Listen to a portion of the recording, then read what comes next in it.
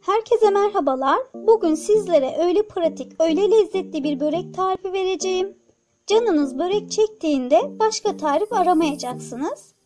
Çünkü bu tarifte hamur yoğurma derdi yok, yufka derdi yok. Üstelik su böreğini andıran çok lezzetli bir börek oluyor. İç harcını hazırlamakla başlıyorum.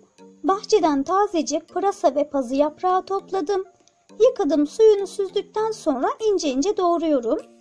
Dilerseniz ıspanak ve ısırgan otu da ekleyebilirsiniz. Çünkü bu böreğe her biri çok yakışıyor. İçine biraz da peynir ekliyorum. 2 yemek kaşığı kadar sıvı yağ ekliyorum. Tuzunu da ekleyip karıştırıyorum. Böreğin hamurunu hazırlıyorum.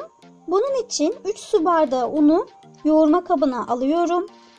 Tuzunu ekliyorum. 2,5 su bardağı suyu azar azar ekleyerek çırpıyorum. Hamurun kıvamı oldukça akışkan olmalı. Kek hamuru gibi aynı.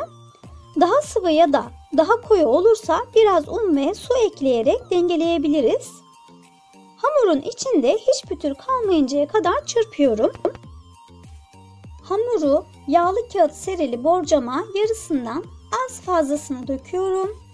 Kabın her yerine yayıyorum. Üstüne hazırlamış olduğum harçtan döküyorum.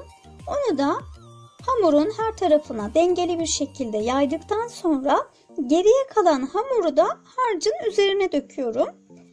Oldukça ince bir hamur oluyor.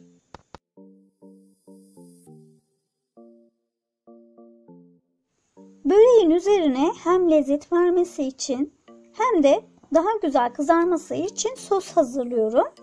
Bunun için bir su bardağı yoğurt, yarım çay bardağı sıvı yağ ekliyorum. İçine bir tane de yumurta ekleyip güzelce çırpıyorum. Çırptıktan sonra sosu böreğin üstüne döküp her tarafına yayıyorum.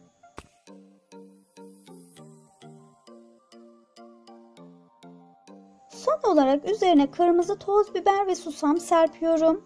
Fırının tam ortasında değil de bir alt katında üstü kızarıncaya dek pişiriyorum.